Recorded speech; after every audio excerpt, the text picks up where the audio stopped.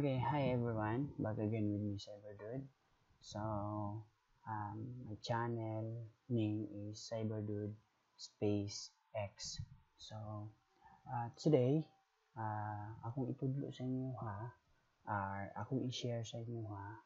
So, based on sa akong experience, so, common problem po sa mga uh, developer or sa mga uh, nagagamit o uh, MySQL SAMP so naga-problem ta sa uh, naga-error ang Apache ug ang uh, MySQL or dili file sila. So uh, i-open sa nato ang ano i-open sa nato yung SAMP so um, kasagaran mong gud maka-encounter ka ingon ani nga problem na dili mo start ang ang may SQL kay kasagaran. Uh, naa na kay pareha sa kuha pareha sa kuha kay tan-aw ta diri nga. Naa na ta naa na ko naka-install diri nga MySQL server MySQL server 5 which is nga gigamit niya nga port is uh, uh, 330 330 uh, 3306 ano siya?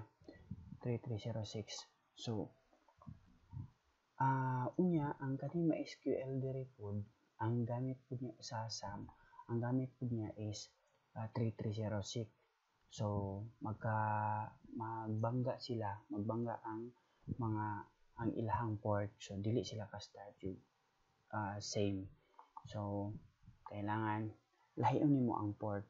So pero ang uban na uh, unit manggod pod uh, maglisod pod sila. So same ani pareha ni karon. Nako kay MySQL okay di ba? Okay man siya open okay mo siya di ba? Naka-open siya. So pareha ni MySQL administrator.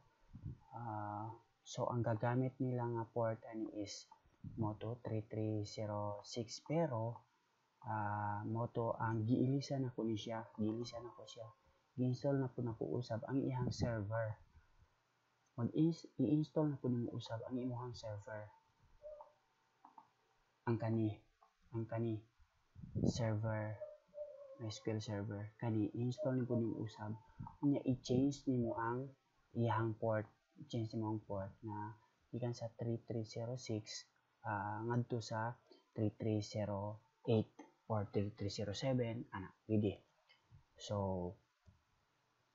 mo na imuhang. Himuon so karon i uh, i-solve sa nato pareha ni karon problem na ko diri sa Apache kay dili siya mo start kay uh, mo lagi tong port pod sa 80 gamit pod sa uh, diri sa MySQL administrator. So okay i-solve siya natin siya. So first i-open mo dire Apache http uh, httpd.config config. Actually config siya. I-click lang mo siya dire kung ano mo so ang dire yang port kay 80 man siya? 80 man siya dire so i ano lang mo? Control F. Control F okay? Control F. Find nimo ang 80 so ano siya? 80 ayaw lang niya diri ilisa ang kaning 80 diri sa list ni kaning sa iyang IP diri. Ang diri ang diri nga side dili lang nato ilisan ang diri lang uh, dugangan na nato. Kasagaran mong good uh, makita nato nga mga bisan palahi nga tutorial ginadugangan lang jud nila 8080 so actually pwede na gamiton mo og lahi nga number pero uh, make it simple di ba? So kasagaran pag makita nato ang mga tutorial ana pod so imo na to 8080 fine na pod So, ganihan na dito ang server name, localhost. So, back ha, pag pag humanto sa 8080 ganiha, daw punta na ito 80 tumibita okay wala di ito. Okay yan lang. Yan lang. So server name localhost dugangan po nato ni 80 so kina na siya? So 80 80 to siya. Save lang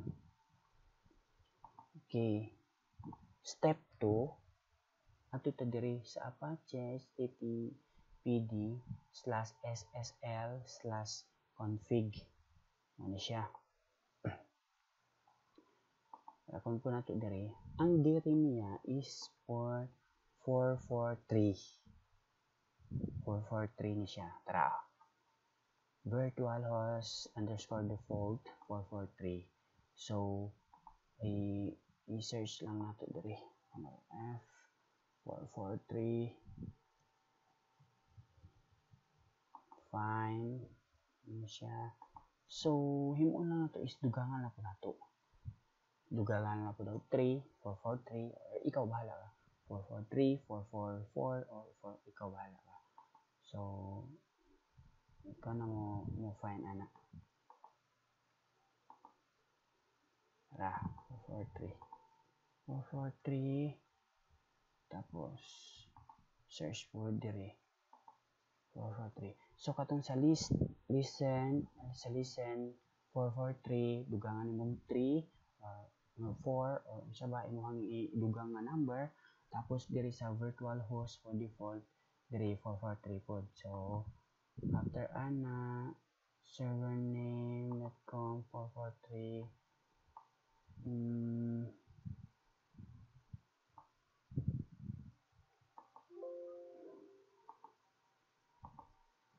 pwede na siya pwede na dire dili dire pwede na siguro na dili dire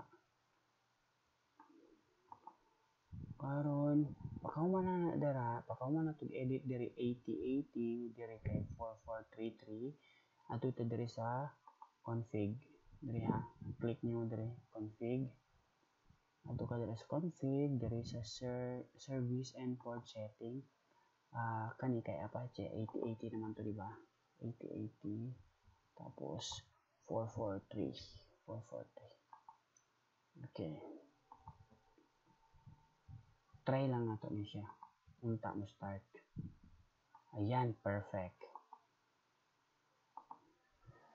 So guys uh, na-fix na to ang apache.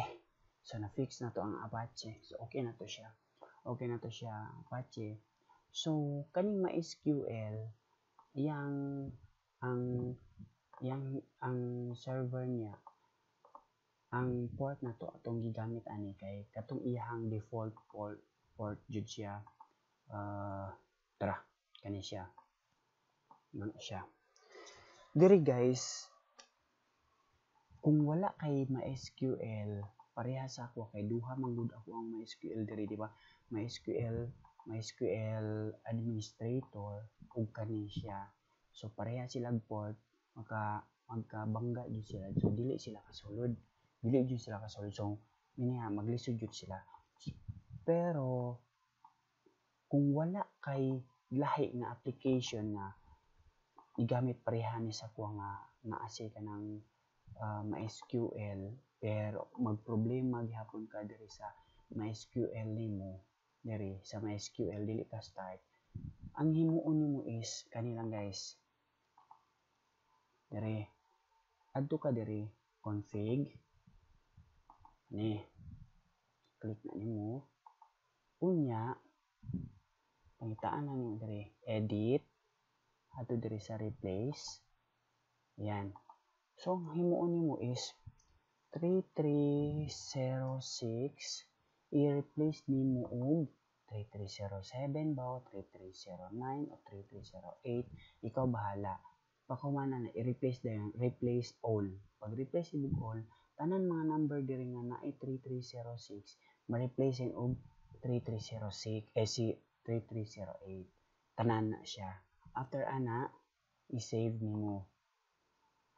I-save dayon nimo. Pakumana i-save mo na siya. I exit nimo ang imuhang ano diri diri quit lang nimo. Pag ma-quit unya restart na pud nimo ato ka sa panel uh, sa panel control So, pag start ana mo na siya start na pud nimo. Uh, hopefully guys, hopefully, hopefully jud siya nga mo start jud na siya.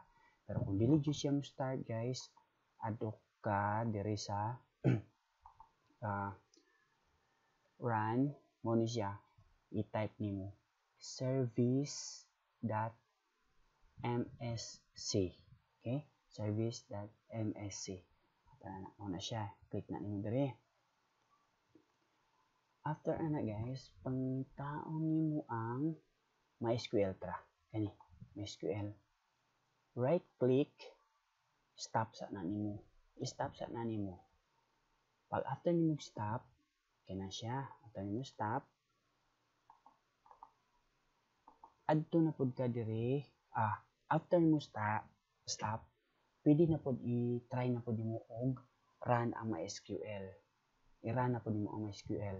Pero kung dili gyud siya mo run dili na pod siya mo run na pa siya problem. So meaning adto ka dire sa CMD pero kaning dire sa CMD kailangan run as administrator. Run run as administrator. So, after ana, ang i-type nimo is uh, open ko notepad be. ang op, ang i-type nimo ana dere kay SC delete MySQL. Yan. Kana lang yung mga sa. Pero small small letter, pwede po rin small letter SC uh, delete MySQL. Yan. Nun ana, pwede ra po dan uh, small letter. O man, i-type lang nimo na dira. I-type lang na nimo dira. Type lang nimo na dire. I-enter makakita ka diri successful nakasulat diri sa baba successful so successful na siya. Remember guys ha run as administrator. Kay kung dili nimo i-run as administrator ang CMD unya mag code ka ato SC uh, delete MySQL mo access deny jud na siya. Dili jud na siya mo approve. Kay tungod uh, dili uh, murag naala siya sa babaw ba wala siya nag connected to sa imuhang MySQL. So, after ana guys, pwede na pud na nimo i i-quit imuhang uh, sum dire nya i-restart na pud. Pag start ana, hopefully hopefully guys, hopefully na jud na siya uh, mo under na jud na siya. So, guys, ayo jud kalimti ha. Unsay imuhang port, unsay imuhang port dire, unsay imuhang port dire sa imong port 330 330 8 ba 3306 o 3307 ayo jud kalimti diri adto diri sa config nya service control pan uh, service and ports setting nya adto diri MySQL. I-change jud na nimo diri ang iyang ending. Change na nimo siya. 8 ba 6 ba 8 ba or 7 ba ana So, kailangan nimo i uh, change tapos i-save. Kung na save po na dire. So, ako actually almost uh, two days guys, two days jud ako nangitag solve ani kay naglibog jud ko kay every i-run every run ako sa sa ako ang MySQL naa siya mo message dire nga uh, Windows uh, Windows.net to nakasulat dito o .net Windows unsa ba? Mo na siya murag warning ba? Pero pag click nimo okay walay mahitabo walay mahitabo attempt nga marong jud na siya dili jud siya ma, ma successful. So guys uh, hopefully uh, nakatabang ko sa inyo ha or uh, nakashare ko sa akong knowledge sa inyo ha. So hopefully nga sunod na video, sunod na ma-share na ko unta na mas makatabang pa sa inyo ha. So uh, if you like this video guys, uh, ayaw jud kalimti nga i-subscribe niyo ako ang channel. Uh, nasa nasa uh, left nasa left baba subscribe button. I-click na na inyo. Kunya i-click lang ang ring button ayaw pud kalimti kung nagustuhan ninyo kaninga video ayaw kalimti i-click ang like uh, icon. O ayaw kalimti i-subscribe og katong uh, ring button kay diha. Kung na ako'y bagong i-upload ng video o mag-notify sa inyo ang mga email. So guys, kung naamoy mga pangutana, naamoy mga uh, same problem inyo dili jud mo ka solve, uh, ayaw kalimti nga mag-comment mo sa baba sa comment box sa baba. Ayaw ka ulaw ayaw ka uh, balaka unsa ba diha basta pangutana lang guys. Uh, pag-comment lang. Uh, basta bisan bisan dili mo mag-comment about ani or unsa ba. Basta uh, magbutang mo bahala question mark lang okay na na sa kuha. Basta uh, thank you. Uh, tabangit ko ninyo nga i-growth nga channel. Untang katabang sa inyo ha permi. Og uh, bye bye guys. God bless. Never, mind. Oh, I...